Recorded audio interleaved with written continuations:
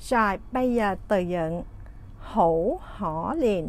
Hữu hỏ liền có nghĩa là rất đáng thương hay là rất tội nghiệp, bởi vì hỏ liền là đáng thương hay là tội nghiệp. Chúng ta cùng nhau đọc nè. Hữu hỏ liền. Hữu hỏ liền có nghĩa là rất đáng thương, rất tội nghiệp. Ví dụ chúng ta thấy ai đó ở trong tình trạng rất là tội nghiệp, rất là đáng thương thì sẽ là hữu hỏ liền. Rồi mình thí dụ tôi cảm thấy họ rất đáng thương. Thì chúng ta nói như thế nào bằng tiếng Quảng Đông? Người Hồng Kông nói như thế này, ngọ con tắc khởi tề hổ họ liền. Ngọ con tắc khởi tề hổ họ liền. Có nghĩa là tôi cảm thấy họ rất đáng thương. Thì hổ họ liền có nghĩa là rất đáng thương. Ai rất đáng thương? Khởi tề. Khởi tề là, khởi tề là họ con tắc là cảm thấy, ai cảm thấy? Ngọ là tôi. Ngọ con tắc là tôi cảm thấy. Khội tỳ hữu họ liền là họ rất đáng thương. Chúng ta cùng nhau đọc lại trọn câu. Ngọ con tắc, khội tỳ hữu họ liền. Ngọ con tắc, khội tỳ hữu họ liền. Tôi cảm thấy họ rất đáng thương. Rồi, bây giờ từ dựng câu la. Câu la là đủ rồi ha. Khi chúng ta cảm thấy đủ rồi thì sẽ là câu la ha. Thí dụ như ai đó cho mình cái gì đó à, nhiều quá đưa cho mình nhiều quá à, mình nói à, câu la. Thí dụ như ai đó nói nhiều quá ha nói nhiều quá mình muốn nói là đủ rồi là câu la ha câu la. Là người ta biết người ta sẽ dừng người ta không nói nữa phải không nào?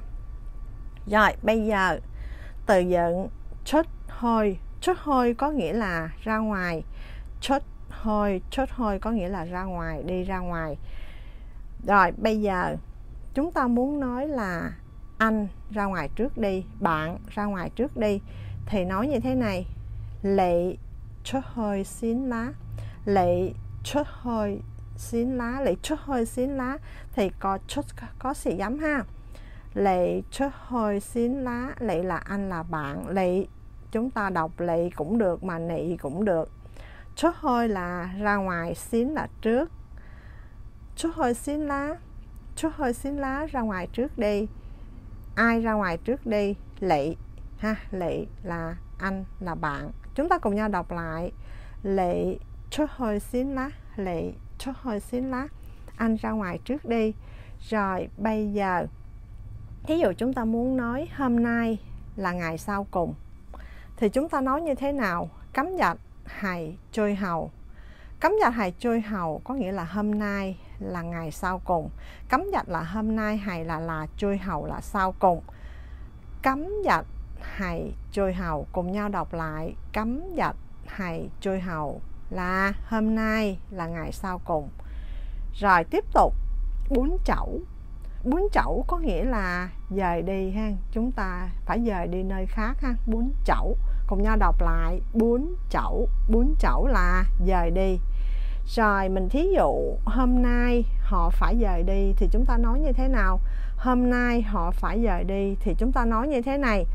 Cấm dạch khởi tỳ diêu bún chậu cấm dạch khởi tỳ diêu bún chậu thì cấm dạch là hôm nay khởi tỳ là họ.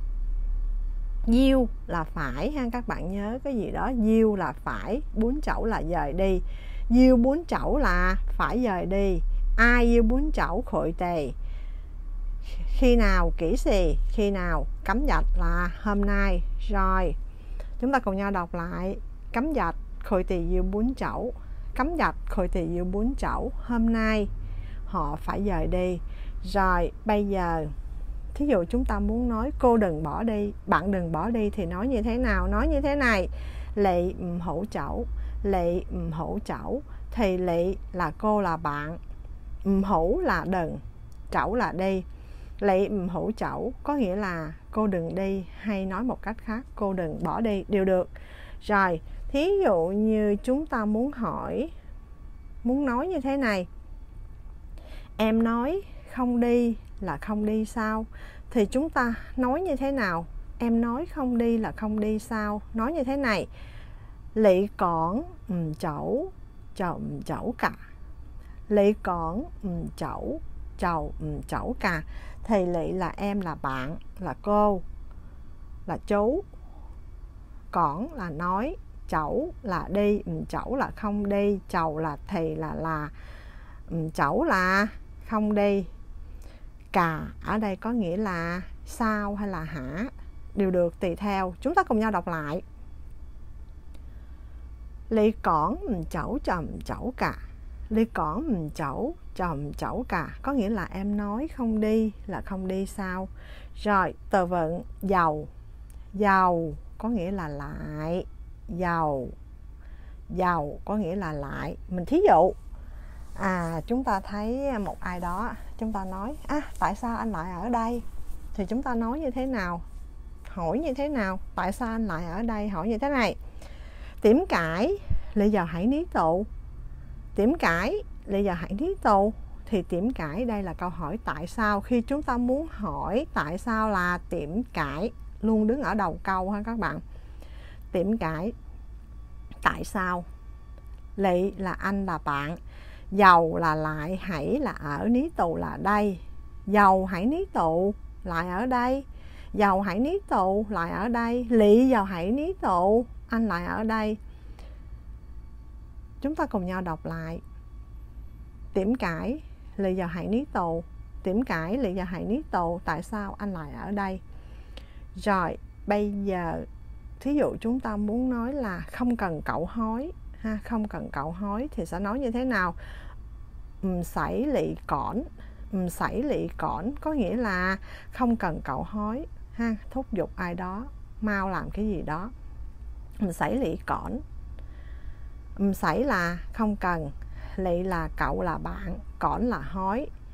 Rồi, cùng nhau đọc lại. Mình xảy lị cỏn, mình xảy lị cỏn, không cần cậu hói. Rồi, bây giờ từ dựng, chủ trích. Chủ trích có nghĩa là tổ chức, cùng nhau đọc lại. Chủ trích chủ trích là tổ chức, bởi vì chủ là tổ ha. Chủ trích là tổ chức rồi bây giờ chúng ta muốn hỏi tổ chức thế nào rồi? Ha chúng ta muốn hỏi ai đó. À, tổ chức thế nào rồi thì sẽ là chủ chức sành điểm chủ chức sành điểm có nghĩa là tổ chức thế nào rồi? Chủ chức là tổ chức sành điểm là thế nào rồi ha? À, chúng ta muốn hỏi ai đó làm cái gì đó sành điểm có nghĩa là thế nào rồi?